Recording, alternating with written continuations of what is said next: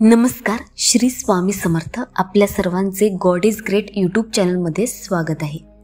अकरा डिसेंबर दोन हजार चोवीस आज वार बुधवार. मोक्षदा एकादशी आहे आणि आजच्या दिवशी जर तुम्ही ही एक गोष्ट शांतपणे गुपचूप तुळशीच्या रोपामध्ये ठेवली तर तुम्ही रातोरात श्रीमंत व्हाल. या वर्षीच्या सर्वात मोठ्या एकादशीला म्हणजेच मोक्षदा एकादशीला तुळशीच्या रोपामध्ये ही एक वस्तू ठेवून द्यायची आहे. आता वर्षातील सर्वात मोठी एकादशी कारण ती मार्गशीर्ष महिन्याची एकादशी आहे ज्यामध्ये श्रीहरी विष्णू आपल्या भक्तांना खूप लवकर प्रसन्न होऊन आशीर्वाद देतात. जेव्हा तुम्ही तुळशी माते संदर्भात उपाय करता तेव्हा श्रीहरी विष्णू तुमच्यावरती लवकर प्रसन्न होतात. कारण जेव्हा ते चार महिन्याच्या योगनिद्रामधून जेव्हा श्री हरिविष्णू जागे झाले तेव्हा त्यांनी प्रथम तुळशी मातेला पाहिले. जेव्हा आपण श्री हरिविष्णूला लाडू अर्पण करतो भोग अर्पण करतो तर त्या नैवेद्यावरती तुळशीचं पान ठेवल्याशिवाय ते ते नैवेद्य स्वीकारत नाही. कोणताही प्रसाद ते स्वीकारत नाही. तर अशा स्थितीत श्रीहरी विष्णूंसाठी माता तुळशी काय आहे हे तुम्ही समजू शकता. म्हणजे आई तुळशी त्यांच्यासाठी प्रथम आहे. आता मी तुम्हाला सांगते की मोक्षदा एकादशी ही वर्षातील सर्वात मोठी एकादशी आहे. वर्षातील सर्वात मोठी एकादशी म्हणजे ती मार्गशीर्ष महिन्यात येते. तर हा महिना जो श्रीहरी विष्णूंचा सर्वात आवडता महिना आहे. कारण या महिन्यात आपण त्यांची पूजा करतो. लक्ष्मी मातेची पूजा करतो तुळशीची पूजा करतो. तर हा स्वतः या महिन्यामध्ये सर्वश्रेष्ठ महिना मानला गेला आहे. तर आता मी तुम्हाला सांगते की या महिन्यात विशेषतः तुळशीचे उपाय केले तर या महिन्यात जो व्यक्ती श्रीहरी विष्णूला तुळशी मंजिरी अर्पण करतो त्याच्या जीवनात दुःख आणि संकटे कधीच परत येत नाहीत. जर त्याला त्याच्या आयुष्यात प्रत्येक प्रकारचा आनंद प्रत्येक प्रकारची संपत्ती मिळवायची असेल तर त्यांनी नक्कीच तुळशी संबंधित उपाय केले पाहिजे. अशी कोणती गोष्ट आहे जी तुळशीच्या रोपाला बांधायची आहे? पण त्याआधी मी तुम्हाला सांगते की यावेळेस दोन हजार चोवीसमध्ये येणारी मोक्षदा एकादशी ही वर्षातील शेवटची एकादशी आहे. कारण यानंतर नवीन वर्षाची सुरुवात होणार आहे. त्यामुळे मी तुम्हाला सांगते की यावेळी मोक्षदा एकादशीला रवियोग तयार होत आहे आणि व्यारियन योगसुद्धा तयार होत आहे. या दिवशी एकाच वेळी अनेक योग तयार होत आहेत आणि अशा परिस्थितीत जर तुम्ही ही एक गोष्ट तुळशीच्या रोपाला बांधली तर तुमचे नशीब अशा प्रकारे चमकेल की तुमचे सात पिढ्या बसून खातील. त्यांना सुद्धा आयुष्यात फक्त पैसाच दिसेल. म्हणून व्हिडिओ पूर्ण पहा आणि पुढे जाण्याआधी व्हिडिओला एकदा लाईक करा चॅनलला सबस्क्राईब करा. तसेच पहा कृपया कमेंटमध्ये जय माता लक्ष्मी लिहायला विसरू नका. जय मा तुलसीसुद्धा लिहा. जेणेकरून तुम्हाला थेट श्रीहरिविष्णूंचा आशीर्वाद मिळू शकेल.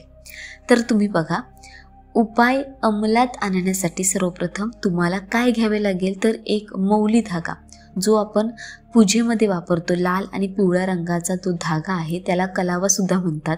तर तो तुम्हाला मौली धागा घ्यायचा आहे. तसेच तुम्हाला काय करायचं आहे? थोडीशी हळदीची गाठ घ्यायची आहे किंवा थोडे तुम्हाला हळद पावडर घ्यायची आहे.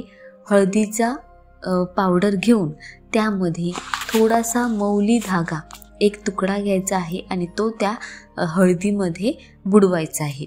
तर मौली धाग्यावर हळदीची पेस्ट व्यवस्थित लावा. तुम्हाला त्याच्या आत त्या मौली धाग्याचा तीन गाठी बांधायचे आहेत. तुमची इच्छा बोलून तुम्हाला तुमच्या आयुष्यात जे काही हवे आहे ते बोलून हळद लावताना तुळशी मातेला तुमची इच्छा सांगायची आहे.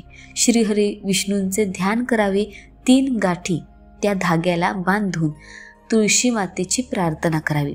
आता तो मौली धागा तुळशीच्या रोपाला बांधायचा आहे अगदी हलक्या हातांनी. कारण या दिवशी तुम्ही तुळशीच्या रोपांना स्पर्श करू शकत नाही. कारण या दिवशी तुळशी माता उपवास करते हे व्रत श्रीहरी विष्णूंसाठी पाळले जाते. आता पहा तुळशीच्या रोपाला धागा बांधला. आता त्यांना गुळ तुम्हाला अर्पण करायचं आहे. तुळशीला थोडा गुळ अर्पण करायचा आहे. तेथे तुळशीच्या रोपावर कुंकू तुम्हाला लावायचं आहे. तुळशी आई खूप आनंदी होते जेव्हा तुम्ही तिला शृंगार संदर्भात कोणतेही वस्तू अर्पण करता. त्यांच्यावर कुंकूने टिळक लावल्यास मोक्षदा एकादशीला हा उपाय केला असेल तर नक्कीच तुम्ही रातोरात श्रीमंत व्हाल तुमचे घर संपत्तीने वाढेल. आयुष्यात एकदा तुळशीकडे काहीतरी मागून पहा तिला प्रार्थना करण्याचा प्रयत्न करा आणि हा उपाय केल्यावर तुम्हाला दिसेल की तुमच्या आयुष्यात फक्त चमत्कारच होतील. नंतर तो गुळ गाईला खायला घालायचा आहे. चला आणखीन एका उपायाबद्दल बोलूया. कारण यावेळी मोक्षदा एकादशीला असे अनेक शुभ आणि दुर्मिळ योग जुळून येत आहेत ज्यामध्ये श्री हरिविष्णू महालक्ष्मींची पूजा केल्याने तुमचे सर्व संकट आणि दुःख दूर होतील. त्यामुळे तुम्हाला काय करावं लागेल? इथे पिवळी फुले गोळा करा. श्री हरिविष्णूंना पिवळी फुले अतिशय प्रिय आहेत. पिवळी फुले घेऊन थोडी घ्यायची आहेत. तिथे तुम्हाला लाल फुले सापडली तर लाल फुलेसुद्धा घ्या. दोन अख्ख्या हळदीचे गाठी म्हणजे हळकुंड घ्यायचे आहेत दोन देशी तुपाचा दिवा तयार करायचा आहे. गोलाकार वात त्या देशी तुपाच्या दिव्यामध्ये ठेवायचे आहे. आपल्या घराच्या मंदिरात तुम्ही बसायचं आहे.